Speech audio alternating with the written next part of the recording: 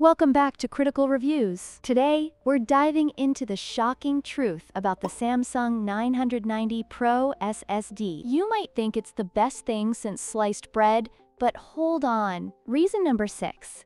It's so fast, it might just leave your other components in the dust. But wait, is that really a good thing? Let's find out.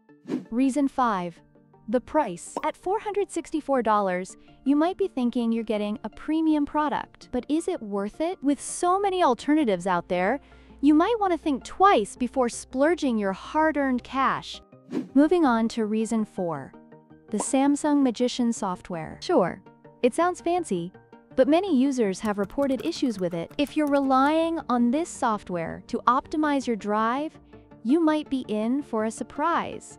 And not the good kind. Reason 3.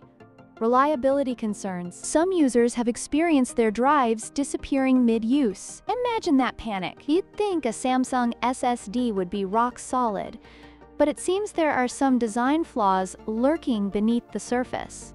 Now, reason 2. The heat. This little beast can get hot under pressure. If you're not careful, you might find yourself investing in a heatsink just to keep it cool. And let's be honest, who wants to deal with extra cooling solutions? Finally, reason one. The hype. Everyone's raving about the Samsung 990 Pro, but are they really looking at the facts? Sometimes, the hype can overshadow the reality. Make sure you're not just following the crowd without doing your research. And that's a wrap. Thanks for tuning in to Critical Reviews. Remember, before you hit that purchase button, make sure you consider all the facts. Don't forget to like, subscribe, and share your thoughts in the comments below.